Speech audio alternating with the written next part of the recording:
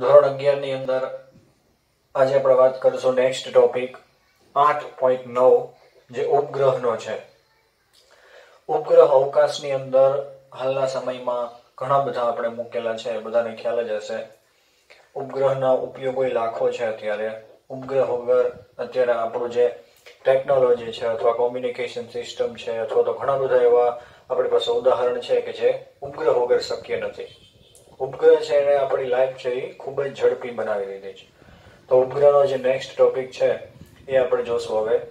સૌથી પહેલા ઉપગ્રહ છે એનો આવર્તકાળ એ કેટલી ઊંચાઈએ પૃથ્વીની સપાટીથી કેટલી ઊંચાઈએ મૂકવામાં આવે છે.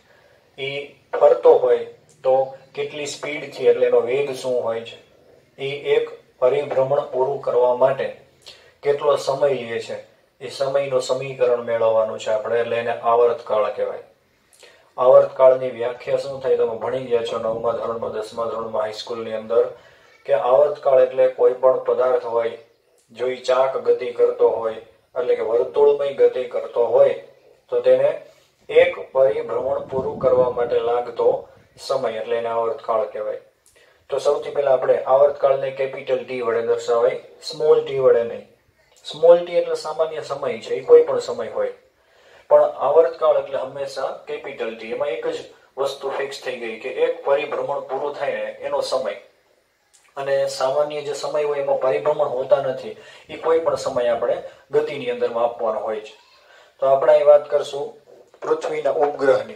એટલે એનો આવર્તકાળનું સમીકરણ મેળવવાનું છે. પ્રશ્ન હું એ લખું છું.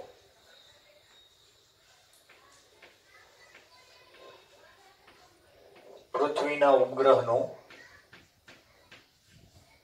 આવર્તકાળનું સમીકરણ. પૃથ્વીનો કુદરતી ઉપગ્રહ. એ ચંદ્ર છે એ બધાને ખ્યાલ હશે. ચંદ્ર છે એને કુદરતી ઉપગ્રહ એટલા માટે કીધો છે કે એક કુદરતી ઉપગ્રહ એટલે પૃથ્વી કરતા નાનો પદાર્થ જે પૃથ્વીની આસપાસ ફરે છે. પૃથ્વીને સંદર્ભમાં ફરે. પૃથ્વીને કેન્દ્રમાં રાખીને ફરે છે. એટલે આપણે એને કુદરતી ઉપગ્રહ કીધો. એ માનવ નિર્મિત નથી કુદરત દ્વારા બનાવેલો છે. એ રીતે બીજા ઘણા બધા ગ્રહ છે. જેની પાસે ઉપગ્રહ છે અને ઉપગ્રહની સંખ્યા પછી વધારે છે. પૃથ્વી માટે તો એક જ ઉપગ્રહ છે, ચંદ્ર. બીજા ઘણા બધા એવા છે. શનિ છે, ગુરુ છે, જેની પાસે મંગળ છે, જેની પાસે એક કરતા વધારે ઉપગ્રહ હોય. અને એ કુદરતી. તો આપણે અત્યારે અવકાશમાં તો કુદરતી ઉપગ્રહ ઘણા બધા હજારો છે. તો સૌથી પહેલા આપણે વાત કરશું ઉપગ્રહ છે. એને આપણે જે પૃથ્વીથી કોઈ પણ ઊંચાઈએ રાખવામાં આવે, તો એનો જે માર્ગ હોય, ધારો કે આ પૃથ્વી છે.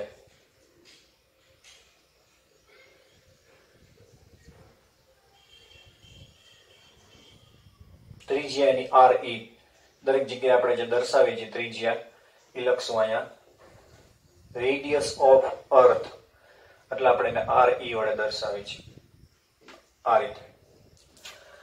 હવે અહીંથી આપણે પૃથ્વીની સપાટી ઉપરથી કોઈ પણ ઉપગ્રહ છે, એને ઉપર મોકલવાનો છે. અવકાશયાન દ્વારા.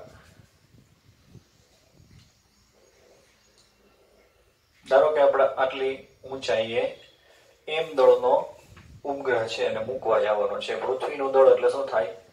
એમ ઈ તો આ ઉપગ્રહ છે, એ જ્યારે પૃથ્વીની આસપાસ ફરતો હોય, તો દરેક વખતે એવું જરૂરી નથી કે એનો માર્ગ છે એ વર્તુળાકાર જ હોય. અત્યારે આપણે નિયમિત વર્તુળ દોરશું કે ભાઈ આ કક્ષામાં ઉપગ્રહ છે, એ પૃથ્વીની આસપાસ ફરે છે. એટલે ઊંચાઈ કેટલી થાય? તો કે ઊંચાઈ છે એ જ જેટલી. પણ આપણે તો અંતર માપવાનું એ કેન્દ્રથી હોય, એટલે આપણા માટે આર કહેશું સ્મોલ આર સ્મોલ આર એટલે શું? તો કે આર ઈ પ્લસ એચ આપણે આગળ આવું કીધેલું છે.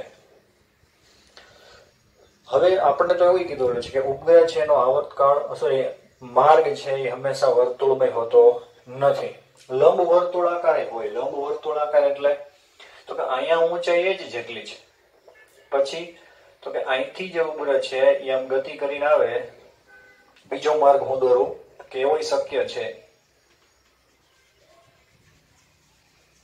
આ રીતે.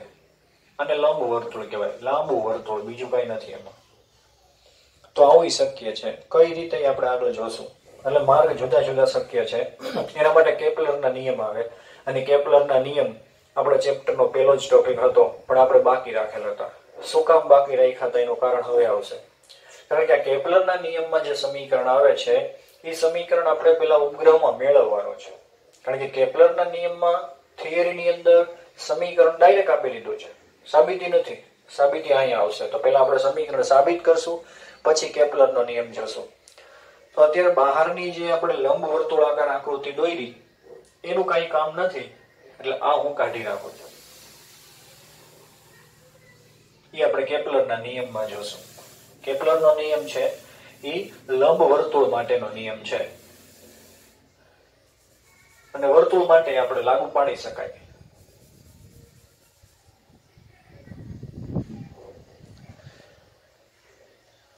હવે સાબિતીમાં પહેલો સ્ટેપ આપણે આવશે કે કોઈ પણ પદાર્થ છે, એ ચાક ગતિ કરતો હોય, એટલે કે વર્તુળમય ગતિ કરતો હોય, તો એને જે પદાર્થની સાપેક્ષમાં એ વર્તુળમય ગતિ કરે છે, એટલે કે જેને કેન્દ્ર ધારીને વર્તુળમય ગતિ કરે છે, તે તરફ એનો કેન્દ્રગામી પ્રવેગ હોય. પ્રવેગનું સામાન્ય સમીકરણ તમને ખ્યાલ છે પેલા હું સામાન્ય માહિતી જ આપી દઉં, કારણ કે કેન્દ્રગામી પ્રવેગ છે એ તમે ભણ્યા નથી. એ આવશે ચોથા ચેપ્ટરની અંદર. સમતલમાં ગતિ. એની અંદર સાવ છેલ્લે ટોપિક આપેલો છે. વર્તુળમય ગતિમાં કેન્દ્રગામી પ્રવેગ તમે ખાલી જોજો. ચાલ્યું નથી, મને ખ્યાલ છે.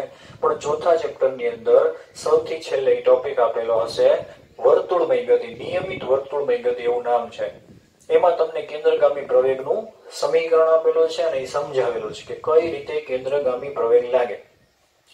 હું તમને ખાલી સામાન્ય ઉદાહરણ આપીને સમજાવું એટલે ખ્યાલ હશે, કારણ કે આપણે વ્યવહારમાં એનો દરરોજ ઉપયોગ કરી છીએ તો કેન્દ્રગામી પ્રવેગ અથવા કેન્દ્રગામી બળ, આમાં બે શબ્દ આવશે. એનો મિનિંગ શું છે? તો કે આપણે જ્યારે વાહન લઈને ગતિ કરતા હોય, ધારો કે તમે સાયકલ તો બધાએ ચલાવેલી હોય.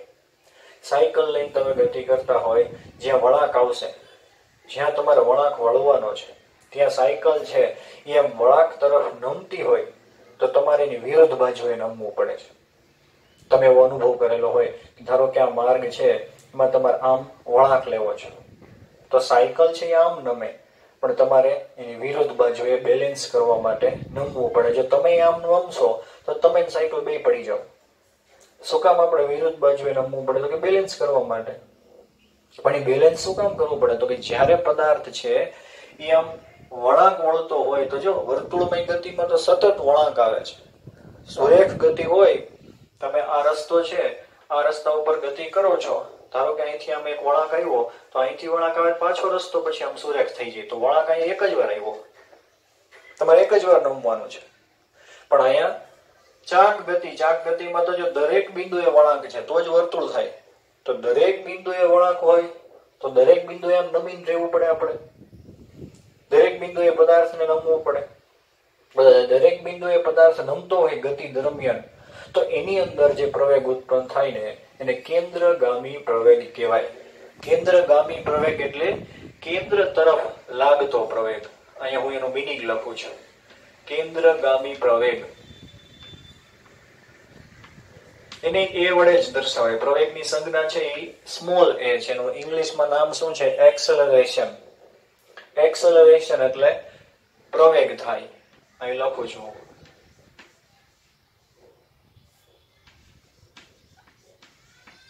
એટલે એના પહેલા અક્ષરને આપણે એ જે છે, એની સંજ્ઞા તરીકે ઉપયોગમાં લીધેલો છે. તો ચાક ગતિની અંદર દરેક બિંદુએ વળાંક આવતો હોવાથી એમાં જે ગતિ દરમિયાન પ્રવેગ ઉત્પન્ન થાય, તેને શું કહેવાય? કેન્દ્રગામી પ્રવેગ. અને એનો મિનિંગ શું છે? તો કે કેન્દ્રગામી પ્રવેગ એટલે કેન્દ્ર તરફ લાગતો પ્રવેગ.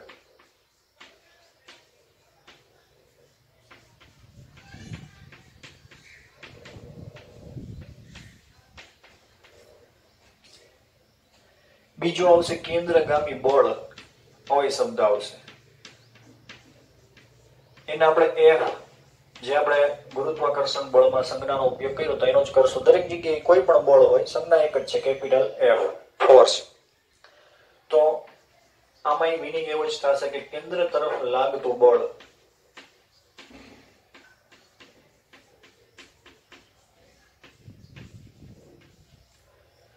હવે બળનું સમીકરણ. તમે આવું ભણી ગયા છો હાઈસ્કૂલમાં એફ બરાબર એમ એ દળ ગુણાકારમાં પ્રવેગ એટલે શું થાય? બળ. પાંચમા ચેપ્ટરમાં આવશે ન્યૂટનના નિયમોનું જે ચેપ્ટર છે ભાઈ તો આપણે કિંમત મૂકશો હવે. પદાર્થનું દળ આપણી પાસે ઉપગ્રહ છે એટલે ઉપગ્રહનું દળ આવશે એમ. પ્રવેગ. તો પ્રવેગનું સમીકરણ તમારે અત્યારે ડાયરેક્ટ યાદ રાખવાનું છે. કારણ કે આપણે ભણ્યા નથી મેં કીધું એમ. ચોથા ચેપ્ટરમાં આવશે. તો પ્રવેગનું સમીકરણ છે વી સ્ક્વેર ના છેદમાં આર આવું પ્રવેગનું સમીકરણ થાય કેન્દ્રગામી પ્રવેગનું. રેખીય પ્રવેગ એનું સમીકરણ તો તમે ભણી ગયા, વેગના છેદમાં સમય, એટલે રેખીય પ્રવેગ થાય. પણ કેન્દ્રગામી પ્રવેગ હોય, તો એમાં શું આવશે? વેગનો વર્ગ છેદમાં એની ત્રિજ્યા, જે ચાક ગતિ કરે જે વર્તુળમય ગતિ કરે છે, એ માર્ગની ત્રિજ્યા. તો જો આપણી પાસે શું છે ત્રિજ્યા, એટલે આર. આર જેટલી ત્રિજ્યાનું એને વર્તુળ બનાવેલું છે. એટલે આપણે શું લખ્યું? વી સ્ક્વેર ના છેદમાં આર તો આપણા માટે કેન્દ્રગામી બળ, એટલે આખું સમીકરણ જે આપણે છે, એમ વી સ્ક્વેર ઉપર આર આપણે આનો ઉપયોગ કરવાનો છે આ ઉપગ્રહનો આવર્તકાળ મેળવવા માટે. ટેક્સ્ટ બુકમાં તમને ડાયરેક્ટ આ સમીકરણ આપેલું છે. કારણ કે ચોથા ચેપ્ટરમાં એ સમીકરણ આવે છે અને ચોથું ચેપ્ટર તો આની પહેલા આવે. એટલે આપણે પહેલા ભણી ગયા હોય. પણ આપણે અત્યારે બાકી રાખેલો છે, એટલે ટેક્સ્ટ બુકમાં તો ડાયરેક્ટ આપેલું છે. પણ મેં તમને સમજાવેલું છે, કારણ કે કેન્દ્રગામી બળ અને કેન્દ્રગામી પ્રવેગ આપણે એની જરૂર પડશે. તો આપણે આ સમીકરણ દરેક જગ્યાએ હવે યાદ રાખવાનું છે, ઘણી બધી જગ્યાનો ઉપયોગ થશે. સાતમા ચેપ્ટરમાં, સાતમું ચેપ્ટર ચાક ગતિ, એટલે કે વર્તુળમય ગતિ. એમાં આપણે આ બળના સમીકરણનો ઉપયોગ થશે M V square upon R એટલે આ સમીકરણ હવે યાદ રાખજો. દાખલાની અંદર એનો ઉપયોગ કરવાનો આવશે. ટેક્સ્ટ બુકમાં તમને આ કાંઈ આપેલું નથી. આ ખાલી સમજવા માટે છે. આ પ્રશ્નનો કઈ ભાગ જ નથી. એટલે આ હું કાઢી નાખું છું. તમે ખાલી લખી નાખજો. આ પ્રશ્નની અંદર સાઈડમાં નોંધ કરીને લખી નાખજો. પ્રશ્નનો ભાગ નથી આ. આ સાઈડનો ભાગ છે. પ્રશ્ન હવે ચાલુ કરશું આપણે. ડાયરેક્ટ આ સમીકરણનો ઉપયોગ કરીને.